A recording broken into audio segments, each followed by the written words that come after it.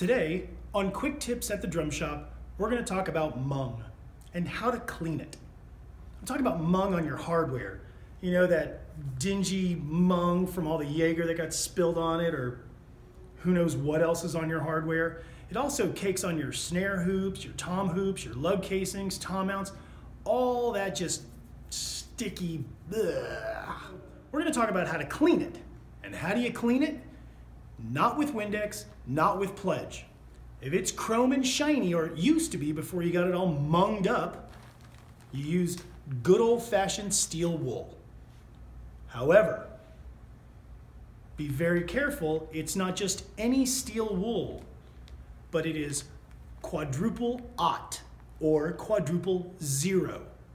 Why? Because that's a polishing grade of steel wool. Don't get the three, don't get the two, and don't get the one. All that will scratch the out of your hardware.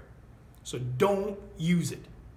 Just make sure when you go to Home Depot, you go to the paint section, the bottom shelf, pretty much all the way down at the end of the aisle, the last box of steel wool will usually be quadruple aught. They even put it in red so you can't mess it up. Once you've gotten home with your bag of steel wool from Home Depot, or wherever you buy it, I just know where to find it at Home Depot. You're gonna grab a piece of your hardware and you're gonna test it. Why? Because I want you to see for yourself how good it actually works. And I want you to test it on something like a stand before you go messing with one of your drum shells. Because it will scratch the lacquer finish on your shells. So you must be very careful. But let's get back to this. So it'll be kind of hard to see, but we'll give a close-up video eh, right over here.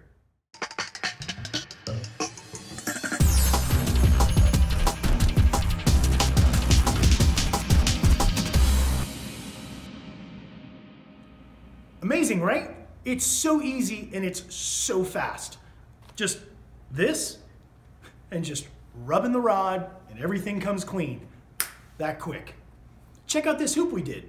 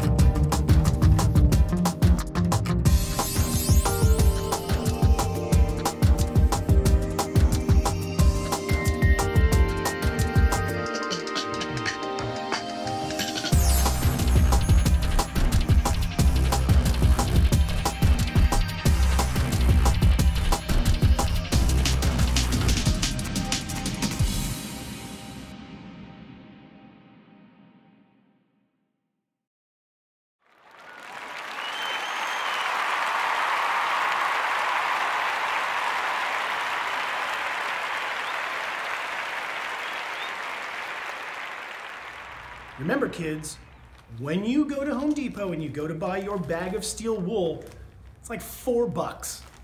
You're gonna get quadruple aught. If you can't see the red box with the four zeros, look for it in the grade. It says it. Just pick it up, take it to the counter, pay for it, go home, have a mung cleaning party at your house. Throw on a couple movies, clean your gear. Again, word of caution, if you're going to do this, with your lug casings still attached to your shell, you are making a grave error. It will scratch the lacquer and it will scratch the plastic laminate around the lug casings. So do that at your own risk. That's my one disclaimer. Otherwise, take everything off, do it the right way. I promise you, you will see amazing results and your kit will look fantastic. It will sparkle like it hasn't in a long time and you'll be mungless. Well, that's your quick tip of the week from the drum shop. We hope you enjoyed it. You know the drill. Click the red circle to subscribe to our channel if you haven't already. Click over there for the next video. We really appreciate your support. We hope you have a great time. And if you have any questions, you know, leave them down in the comments. Thank you so much. Have a great day from the drum shop.